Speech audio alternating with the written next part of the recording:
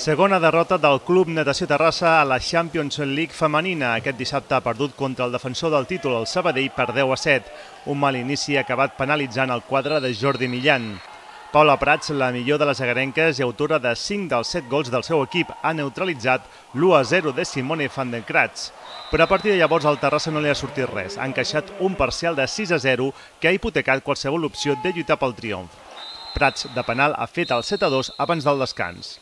Per si el derbi bellesà no estava ja sentenciat, dos gols seguits del Sabadell, només iniciar-se al tercer quart, ho ha acabat fent. Prats i Pilipenya, les úniques en veure porteria, han maquillat el marcador en el darrer període.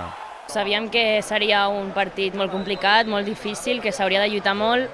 Hem tingut, no hem tingut un bon inici, se'ns han anat molt ràpid al marcador i després la tercera i quarta part bueno, l'hem jugat superbé, però bueno, ens ha costat pues, això, al, al principi ens, ens ha jugat una mala passada i al final bueno, ens hem apropat, però, però no ho hem aconseguit.